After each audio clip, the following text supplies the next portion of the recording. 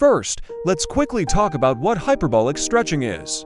It's a unique program designed to improve your flexibility and strength through a series of dynamic and static stretches. This method is suitable for everyone, from complete beginners to advanced athletes. The best part? You can do these exercises at home without any special equipment. Before we dive into the exercises, let's discuss some key benefits of hyperbolic stretching. Increased flexibility. You can achieve a greater range of motion in just weeks. Core strength. Many of these exercises activate your core, improving stability and balance. Muscle recovery. Regular stretching helps relieve tension and speed up recovery after workouts. Better posture. By strengthening and stretching your muscles, you can enhance your posture and reduce discomfort. Now, let's jump into some essential hyperbolic stretching exercises. I'll demonstrate a few, and you can follow along. Start by standing tall. Swing one leg forward while keeping the other leg straight. Alternate legs for about 10 to 15 reps.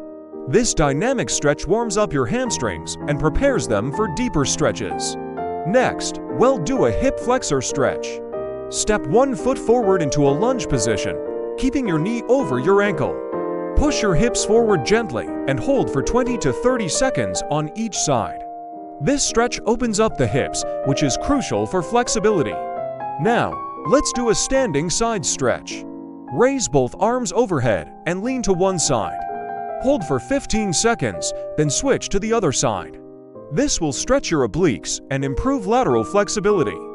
Finally, Let's finish with a seated forward fold. Sit with your legs extended in front of you. Slowly reach forward towards your toes, keeping your back straight. Hold for 20 to 30 seconds. This stretch targets your lower back and hamstrings. As you practice these exercises, here are some tips for success. Stay consistent. Aim to stretch for at least 15 to 20 minutes daily. Breathe deeply. Focus on your breath. It helps your muscles relax. Listen to your body, never push through pain. Stretch to a comfortable limit. Thanks for joining me today for these hyperbolic stretching exercises for flexibility. If you found this video helpful, please give it a thumbs up, subscribe, and hit that notification bell so you don't miss our next workout.